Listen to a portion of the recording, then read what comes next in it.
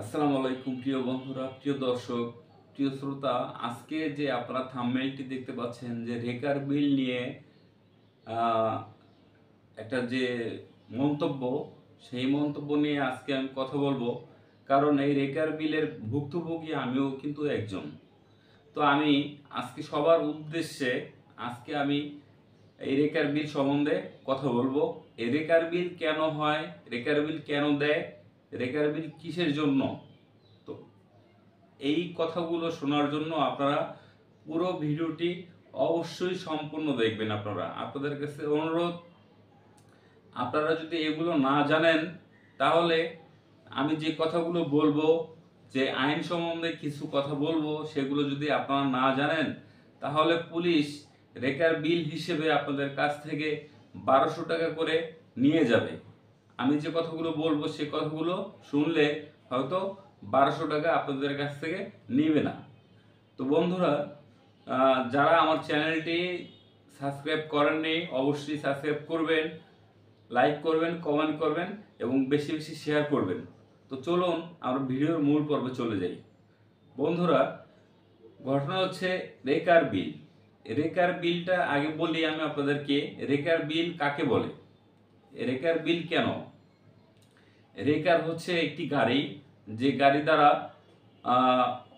কোথাও যদি অ্যাক্সিডেন্ট হয়, দুর্ঘটনা ঘটে, কোনো অন্য কোনো যানবাহন, সেই গাড়ি তুলে উঠানোর জন্য এই রেকার গাড়ি ব্যবহার করা হয়।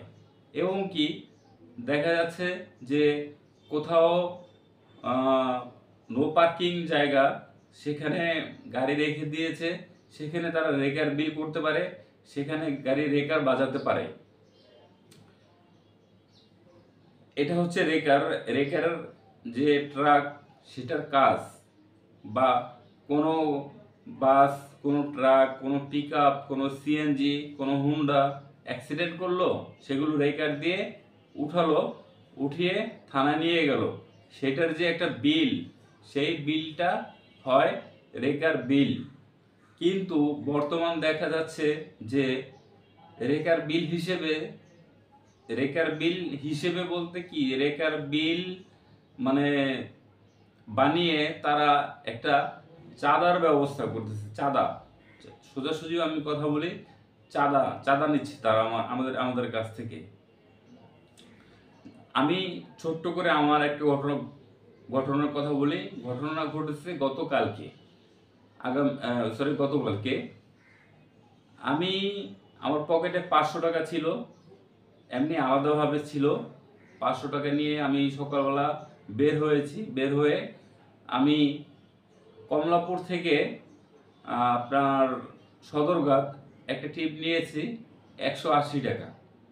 ট্রিপ নিয়ে সদরঘাট গেলাম, সদরঘাট টার্মিনালে তাকে নামিয়ে দিলাম। নামিয়ে দিয়ে এখন সদরঘাট টার্মিনাল থেকে আসতে যে যে রাস্তাটা সোজা, সেই রাস্তা একমুখী রাস্তা, সেটা আসলে সাইনবোর্ড এই পাশে, কিন্তু ওই পাশে কোনো সাইনবোর্ড আমি দেখি নাই। বিধায় আমি ভেবেছি ওখান দিয়ে আবার রিক্সা যাচ্ছে, অন্য অন্য যানবাহন যাচ্ছে, সিএনজি যাচ্ছে হ্যাঁ এবং কি আরও দুইটা মোটরসাইকেলও গিয়েছে সেখান থেকে। তো আমি ভাবছি যে এই রাস্তা দিয়ে গেলে শর্টকাট বের হতে পারব। কিন্তু তাদের নিয়ম হচ্ছে যে সদরঘাট থেকে ইসলামপুর ঘুরে তারপর ওই যে ব্রিজের যে চক- চক্করটা সেখানে আসতে হয়। সেটা আমি, আমার মনে ছিল না। আমি কি করেছি? আমি সোজা চলে আসছি। আসার কারণে একজন ট্রাফিক, তার অনেক পাওয়ার, সার্জনের চেয়েও অনেক পাওয়ার তার। সে একজন ট্রাফিক। সে আমাকে সাথে সাথে বাইকটা আটকালো আটকে চাবিটা হাতে নিয়ে নিল। এটা কি ঠিক করল সে? সে চাবিটা আগে নিয়ে নিল। নিয়ে নেওয়ার পর সে কি করল? বলে যে, আপনার বাইকের কাগজ পত্র দেন। আমি বললাম, কেন? সে বলতেছে যে, আপনি উল্টা রাস্তায় আসছেন, এটা একমুখী রাস্তা। তো আমি বললাম, দেখেন, আমি তো আসলে ভুল হয়ে গেছে। তো তো তখন ট্রাফিক বলল যে, এখানে ভুলের কোনো কথা নাই, আপনি সার্জেনের সাথে আলাপ করেন। ঠিক আছে? কাগজপত্র সার্জেনের কাছে নিয়ে গেলো সে। আমি সার্জেনের সাথে আলাপ করলাম, বললাম, স্যার, আমি আসলে লজ্জিত, আমি দুঃখিত। আমি এই রাস্তা দিয়ে আমি এসে আমি ভুল করেছি। আমি জানতাম না এটা যে একমুখী রাস্তা। এটা আমি এখন জানলাম। আমাকে যখন ট্রাফিক সিগন্যাল দিল, বলল, আমি জানতাম না। এবারের মতো, প্রথমবারের মতো আমাকে ক্ষমা করে দিন আপনি। আমাকে কোনো মামলা দিবেন না প্লিজ কোনো হয়রানি করবেন না, আমাকে আপনি যেতে দিন। সার্জেন্ট বলল, আপনি কে? তখন আমি বললাম যে, দেখেন, আমি তো একজন রাইডার, আমি রাইড শেয়ার করি। তখন সার্জেন্ট বলল, চোখ গরম করে। বলল যে, আপনাকে পঁচিশশো টাকা মামলা দেওয়া হবে, নয়তো বারোশো টাকা রেকার বিল। আপনি কোনটা নেবেন? তখন আমি বললাম যে, স্যার, রেকার বিল কেন আপনি আমাকে দিতে চাচ্ছেন? মামলা দেন। সে আমাকে মামলা দিচ্ছে না। আমি বললাম যে, তাকে মামলা দেন আমাকে। আমাকে মাম- মামলা দেন। আমি মামলা নিয়ে চলে যাব।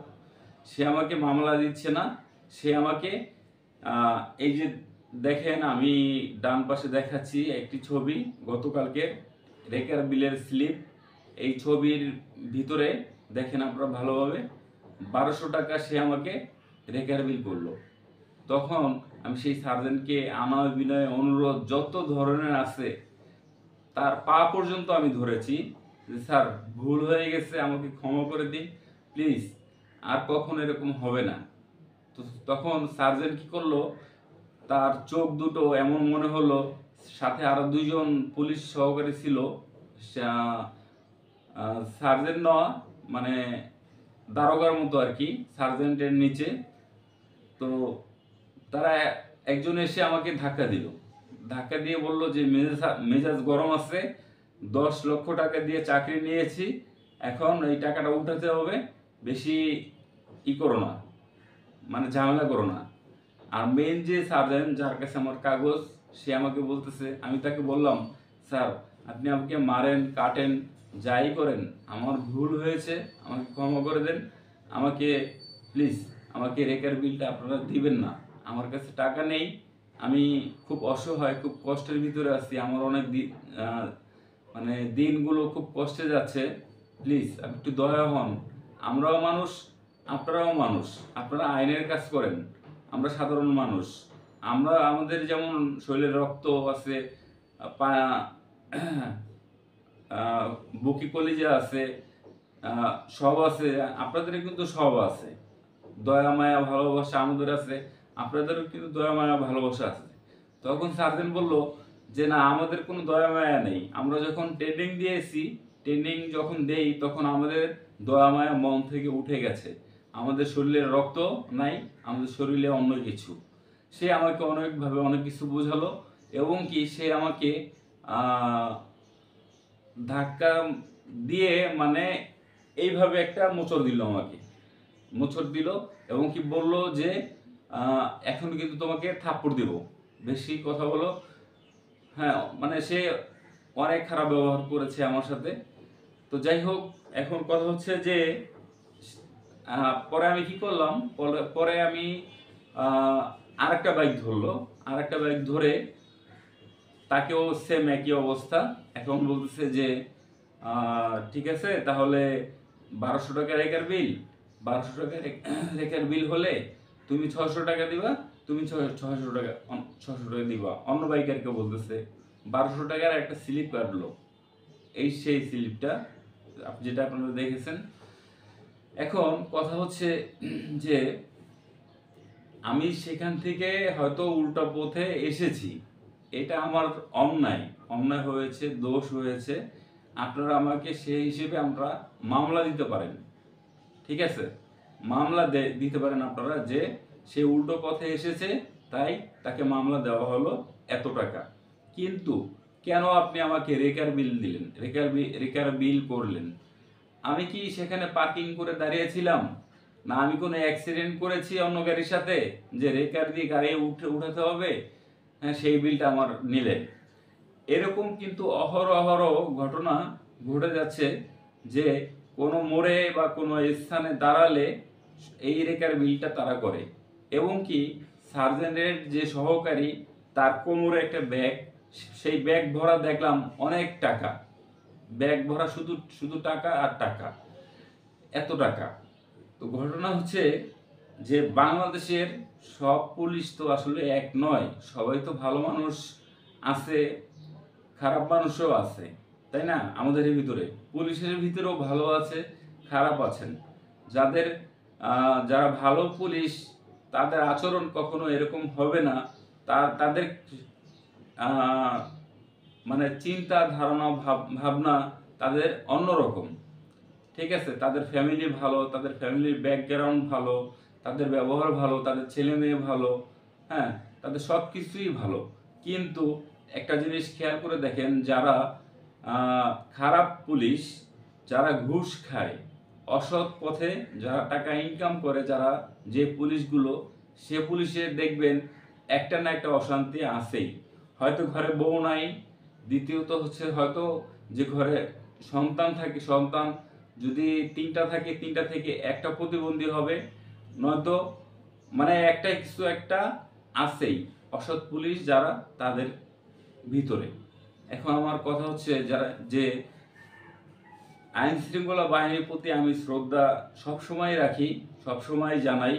কিন্তু আমরা যারা রাইড শেয়ার করি, আমরা গরিব মানুষ। আমরা সারাদিন হয়তো পনেরোশো টাকা, আঠারোশো টাকা, দুই হাজার টাকা ইনকাম করি। এর ভিতরে যদি আপনারা বারোশো টাকা আপনারা নিয়ে নেন, তাহলে কয় টাকা থাকে? আমাদের রেজেক কিন্তু আপনারা নষ্ট করে দিলেন। এই রেজেকের বিচার কিন্তু একদিন হাসরের ময়দানে আপনাদের দিতে হবে। আপনাদের আমাদের- কাছ থেকে জোর করে রেগার বিল নামে যে একটা চাঁদা নিচ্ছেন, আমাদের কাছ থেকে যে বেআইনিভাবে টাকা নিচ্ছেন, এর বিচার কিন্তু হয়তো আমরা এই দুনিয়ায় পাবো না। এই দুনিয়ায় কোনো আইন শৃঙ্খলা বাহিনীর কাছে বা ঊর্ধ্বতন কর্মকর্তার কাছে বা এমনকি প্রধানমন্ত্রীর কাছে গেলে হয়তো আমরা এর বিচার আমরা পাবো না। কিন্তু বিচার কিন্তু এক জায়গা আমরা ঠিকই পাবো। সে আল্লাহর কাছে, সে আল্লাহর কাছে বলে রাখলাম, আল্লাহ তুমি যারা অসৎ পুলিশ, যারা ঘুষ খায়, তাদের তুমি বিচার করো। হাসর ময়দানে তুমি তাদেরকে অবশ্যই বিচার করো। তো এই হচ্ছে কথা। এখন আমি আপনাদেরকে বলি, যারা যখনই আপনারা এরকম অবস্থায় পড়বেন, যদি বলে যে ভয়ভীতি দেখাবে, অনেক অনেক না অনেক ধরনের ভয়ভীতি দেখাবে। গাড়ি ডাম্পিংয়ে নেবে পাঁচ হাজার টাকার মামলা দিবে নয়তো রেকার বিল করো মানে আপনাকে রেকার বিল করাবেই। যদি মানে মনে মানে ব্যাপারটা বুঝাই মন- করেন আপনি আপনাকে প্রথমে ভয়ভীতি দেখাবে, বলবে গাড়ি ডাম্পিং নেওয়া হবে হ্যাঁ গাড়ি পাঁচ হাজার টাকা মামলা, পঁচিশশো টাকা মামলা মামলা দিব, এগুলো নেবে, নিবে? নাকি রেকার বিল বারোশো টাকা দিবে? তখন আপনি নিশ্চয়ই চিন্তা করবেন যে পাঁচ পাঁচ হাজার টাকা মামলা, কি দরকার? গাড়ি ডাম্পিংয়ে নিয়ে যাবে, অনেক ঝামেলা। তার চেয়ে ভালো বারোশো বারোশো টাকা রেকার বিল দিয়ে দিই। এরকম তারা একটা পলিসি মানে তৈরি করে, পরিস্থিতি তৈরি করে। তো আপনারা কি করবেন, আপনারা যখন যখন রেকার বিল দিতে চাইবে, তখন আপনারা বলবেন যে, আমাকে যে আপনি রেকার বিল করতেছেন, কেন রেকার বিল আপনারা করতেছেন? আমি কি গাড়ি রং পার্কিংয়ে রেখেছি? না, আমি কোনো অ্যাক্সিডেন্ট করেছি, সেখান থেকে আমাকে রেকার দিয়ে থানায় নিতে হবে, সেই বিলটা আমাকে দিতে হবে। কেন আমি রেকার বিল দিব? আমাকে আপনারা রেকার বিল না দিয়ে আমি যে অন্যায় করেছি, আমার যে শাস্তি, যে আমার মামলা দেওয়া উচিত সেই মামলা আপনি আমাকে দিন। এটা হচ্ছে মেইন কথা। আপনারা রেকার বিল নেবেন না, আপনারা মামলা নেবেন। মামলা নেবেন এবং কি, দেখা গেল যারা অসহায় রাইডার ধরেন পাঁচ হাজার টাকা একটা মামলা দিল, আপনারা তাদের যে সার্জেন তাকে অনুরোধ করে বলবেন যে, স্যার, যেহেতু পাঁচ হাজার টাকার মামলা দিচ্ছেন একটু সময় বাড়িয়ে দেন, তাহলে আমার জন্য ভালো হয়। সময় বাড়িয়ে দিবে, তখন আপনি দৈনিক দুইশো টাকা করে রাখবেন। দুইশো টাকা করে রাখলে মাসে ছয় হাজার টাকা হয়। ছয় হাজার টাকা হলে তাহলে আপনি এক মাসের ভিতর, এক মাসের একটা টাইম নেবেন। সার্জেন্টকে বলে যে, স্যার, এক মাসের সময় বাড়িয়ে দেন। তখন এক মাস পর আপনি যে মামলাটা ভাঙিয়ে আনবেন। আপনার গায়ে লাগবে না, কষ্ট হবে না, আপনি রেকার বিল নেবেন না। এই হচ্ছে কথা। তো বন্ধুরা, আমি আসলে ভিডিওটি করতে চাইনি, কারণ আমার কালকে খুব কষ্ট হয়েছে, খুব কষ্ট কষ্ট লাগছে। আমি আসলে আপনাদেরকে বলে বোঝাতে পারব না। আমি আর একটা কথা বলি। দেখেন আমরা যখন রাইডার এক সিরিয়ালে দাঁড়িয়ে থাকি, কোনো স্টান বা কোনো একটা মোড়ে, তখন কি করে, সার্জেন এসে আমাদেরকে দৌড়ানি দেয়, চাবি নিয়ে নেয় গাড়ির কাগজপত্র নিয়ে নেয়, হেলমেট নিয়ে নেয়। হেলমেট সার্জেন নেয় না, হেলমেট নেয় ট্রাফিক। ট্রাফিক কি করে, সেই হেলমেট নিয়ে আর হেলমেটটি দেয় না। ধরেন আপনি একটা বারোশো টাকা বা পনেরোশো টাকা পনেরোশো টাকা দামের একটা হেলমেট কিনলেন, সেই হেলমেটটি নিয়ে গেল, নিয়ে গিয়ে সে রেখে দিল। এরকম করে অনেক হেলমেট তারা নিয়ে যায়, অনেক রাইডারের কাছ থেকে। নিয়ে গিয়ে কি করে ওই আশেপাশে যে স্যাঁচরা চোর আছে ছিনতাইকারী আছে, তাদের কাছে কি করে বিক্রি করে দেয়। হ্যাঁ বা তাদেরকে বলে যে আপনারা তোমরা এই হেলমেটগুলো বিক্রি করো। তখন আমরা আমাদের হেলমেট আমাদের কাছে নিয়ে আসে, বলে, ভাই দুশো টাকা বিক্রি করব, তিনশো টাকা বিক্রি করব, এটা হেলমেটটা ভালো, এটা নেন। এরকম ভাবে নিয়ে আসে। তখন বাধ্য হয়ে সেই হেলমেট আমরা কিনি, তিনশো টাকা, চারশো টাকা দিয়ে আমরা সেই হেলমেট আবার কিনি। ঠিক আছে? আবার কিছু কিছু দেখা যায় যে রেকার গাড়িগুলো আছে না, যে রেকার গাড়ি রেকার গাড়ি, ট্রাক যেটা, সেটার দুই সাইডে কিন্তু বক্স আছে। বক্স আমি এক- একটা জায়গায় দেখেছি বাংলা মোটর দুই বক্স ভরা, শুধু হেলমেট আর হেলমেট বাইকারদেরকে ডেকে এক ট্রাফিক বলতেছে যে, একশো টাকা করে হেলমেট আপনারা কে কে নেবেন নিয়ে যান নিয়ে যান। আমি ভিডিও, সেই ভিডিওটা আমি করতে পারিনি। যেহেতু একটা ওখানে অনেক পুলিশ ছিল, একটা একটা ঝামেলায় পড়ে যেতাম আমি।